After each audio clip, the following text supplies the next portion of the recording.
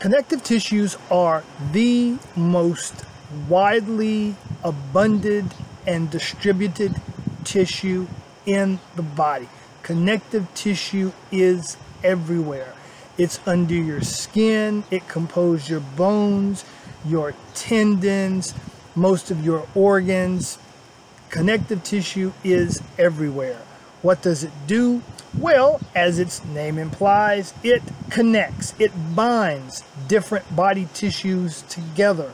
It supports the body and its tissues and organs, and it provides protection. Hopefully you did the reading prior to watching the screencast. So, what are some examples of connective tissues or organs that are composed primarily of connective tissues?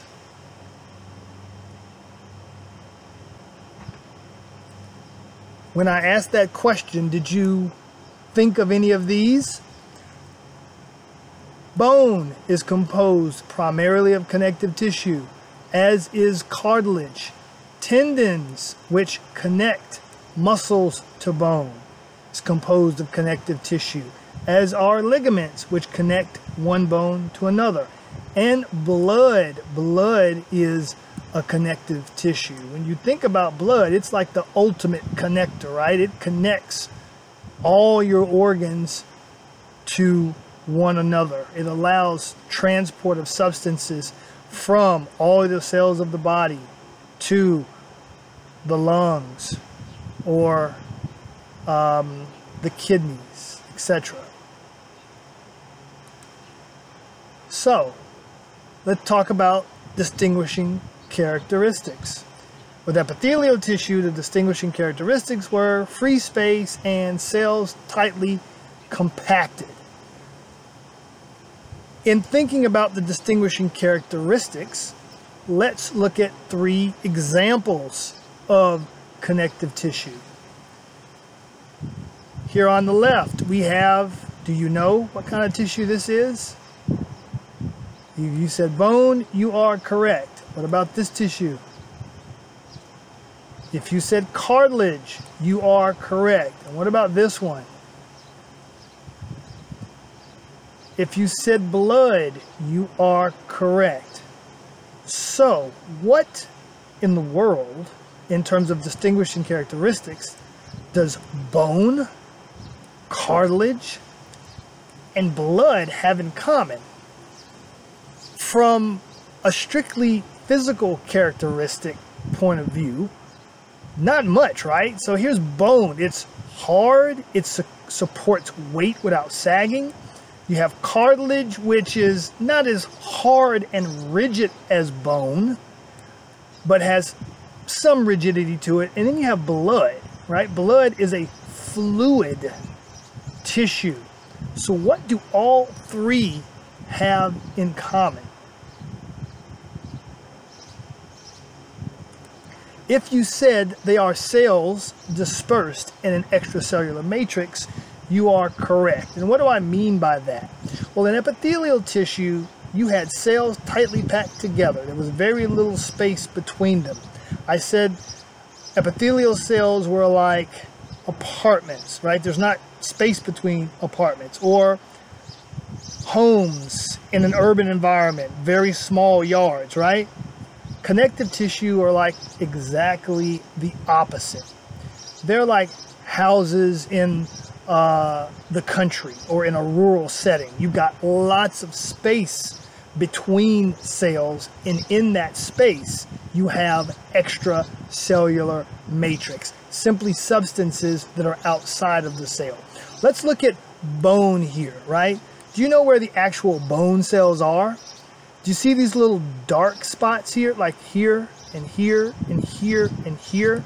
Those are actually spaces and they're called lacuna. They appear black even though they're spaces because light doesn't penetrate through. And each and in each of those spaces we have the actual bone cells which are called osteocytes. So everything outside of these little dark spots here is extracellular matrix. So most of the volume of bone tissue is not actually cell, it's extracellular matrix. And that extracellular matrix is composed primarily of calcium phosphate salts. Let's look at this purplish tissue here, this cartilage. Again, all of this purple out here is outside of the cells, extracellular matrix. These little white spaces here, these are the lacuna, just like the lacuna of the bone tissue. And then in the middle of the lacuna, we have the metatas. We have the cartilage cells, which we call chondrocytes. Cyte means cell, chondro means cartilage. Chondrocytes. And all of this out here is extracellular matrix. What about blood? This is a white blood cell, probably a neutrophil. These are red blood cells.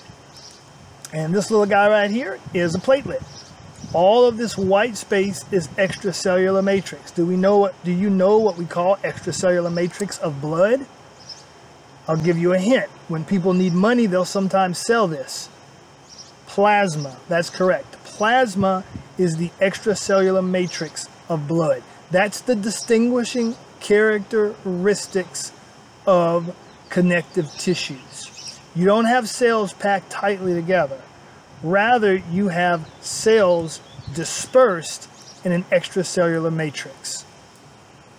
I like to sort of think of fruit cocktail in jello. The jello would be like the extracellular matrix, and the little pieces of fruit would be like the cells. In terms of giving you a method by which you can identify specific connective tissues, really you just have to see them over and over and over again and start to pick up on what they look like. You, you can see by this slide, they all look very different. One strategy that you can use is when you first see an example of each connective tissue, whatever pops into your head, write it down because whatever pops into your head will always pop into your head. For example, when I first started teaching this course, I knew nothing of tissues. I had to teach myself tissues. When I first looked at bone, I thought about clear-cut forest because these structures called osteons look like tree rings. Even today when I look at them, I think clear-cut forest, I keep waiting for the Lorax to jump out and say, did you cut down that tree? Cartilage to me looks like little eyes looking back at me, peering into my soul. Blood I had seen from grad school, so I sort of knew what it looked like. Down here at the bottom left, this is areolar. Uh, you've got lots of fibers. Um, I think of uh, old mother, old mother Hubbard eating curds and whey. Uh, don't ask me why, but that's just what popped into my head. Other people say, hey, it looks like a spider's web. Again, whatever pops into your head, write it down. If, if it looks like, that's what grandma looks like when she gets up in the morning, right? Then write that down. Areolar tissue looks like grandma in the morning. I'm scared right?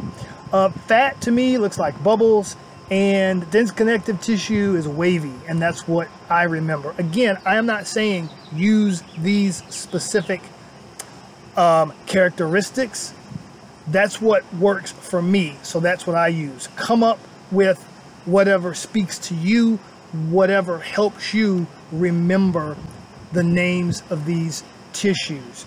But what I know works is seeing these tissues over and over and over again, your brain will begin to pick up on distinguishing characteristics and remember them.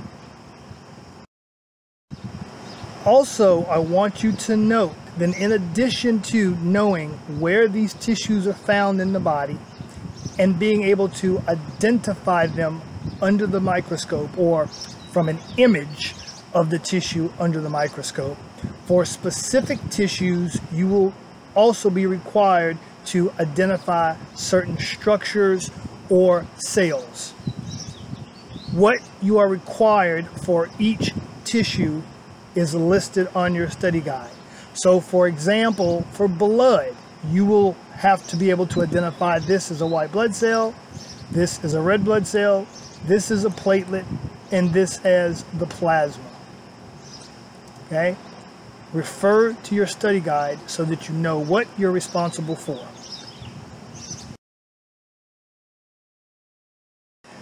Lastly, I want to emphasize that although there are three different cartilages that you will find in your lab manual, you will only have to identify hyaline cartilage.